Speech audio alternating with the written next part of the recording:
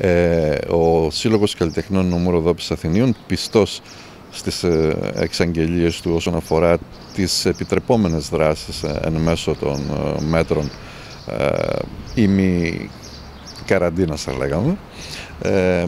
Ξεκινάει τις θερινές προβολές στον άβλιο χώρο που βλέπετε εδώ.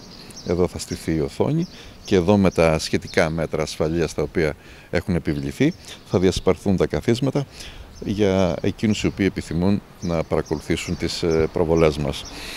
Ε, θα κάνουμε πρεμιέρα με μια Τετάρτη που μας έρχεται, σήμερα είναι Τρίτη, αύριο δηλαδή, στις 8.30 ώρα το απόγευμα, με μια ταινία η οποία θεωρήσαμε ότι είναι κατάλληλη, δεδομένου ότι έχει ένα περιεχόμενο ε, το οποίο ε, είναι ανάλογο, περιγράφει ένα μια ιστορία η οποία είναι ανάλογη με εκείνη την οποία βιώνουμε τώρα. Είναι ε, μια ταινία του 95 αν θυμάμαι καλά ε, και ο τίτλος της είναι The 12 Monkeys. Ε, πρόκειται για μια επιδημία η οποία έχει διασπαρθεί στον πλανήτη και έχει αφανίσει ένα μεγάλο μέρος του πληθυσμού κλπ. Αλλά η συνέχεια στην οθόνη για όσους επιθυμούν να έρθουν και να παρακολουθήσουν.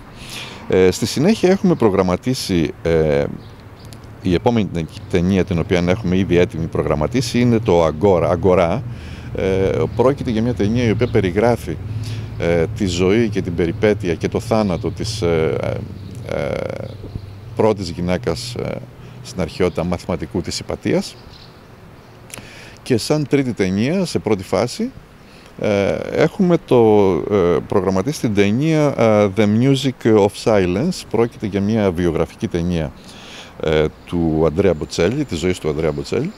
Ε, αυτά για αρχή και βέβαια έχουμε και backup κάποιες άλλες ταινίες τις οποίες επεξεργαζόμαστε ε, και να δούμε πώς και με ποιο τρόπο θα τις προβάλλουμε το επόμενο χρονικό διάστημα.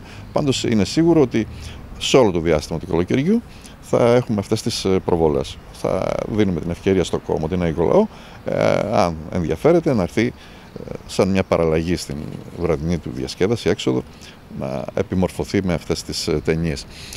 Ε, με την ευκαιρία ήθελα να πω ότι ε, είχαμε πει ότι πρόκειται να λειτουργήσουμε κάποια θερινά τμήματα. Κάναμε τις σχετικές ε, διαργασίες, συναντήσεις, συνεννοήσεις με τους εκπαιδευτές.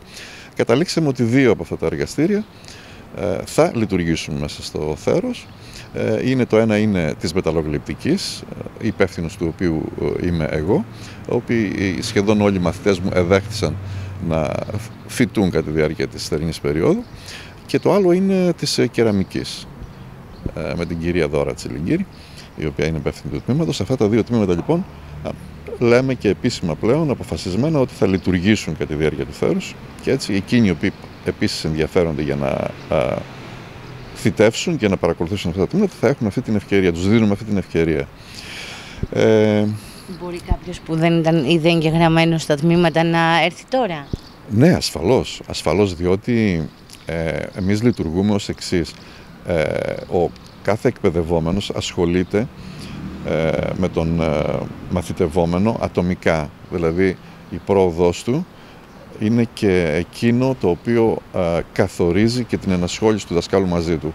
Δεν έχουμε αυτά τα στεγανά ότι υπάρχει ένα πρόγραμμα το οποίο ακολουθούμε και όποιος προχωράει καλώς, όποιος δεν προχωράει μένει πίσω. Όχι, ασχολείται ατομικά με τον καθένα ξεχωριστά και αν ξεκινήσει κάποιος από το μηδέν, οποιαδήποτε ώρα θέλει μπορεί να το κάνει. Πρέπει να το ανακοινώσουμε.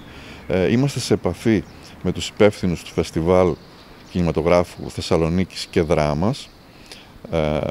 Ε, αυτές οι ταινίες μικρού μήκους της δράμας αλλά και στη Θεσσαλονίκη ε, ούτως ώστε ε, να έχουμε ενδεχομένως την ευκαιρία να πάρουμε τα δικαιώματα πρώτης προβολής από αυτές τις ταινίες. Αν το επιτύχουμε, που έχω πολλές ελπίδες ότι αυτό θα συμβεί θα έχουμε την ευκαιρία να προβάλλουμε στα πλαίσια αυτής της θερινής περίοδου ε, και αυτή την δράση. Ε, θεωρούμε ότι είναι εξαιρετική διότι πρόκειται για ταινίες οι οποίες θα είναι πρώτης προβολής. Ε, και ε, περιμένουμε απλώς να το να αποσαφινιστεί αυτό και να γίνει πράξη στην πορεία.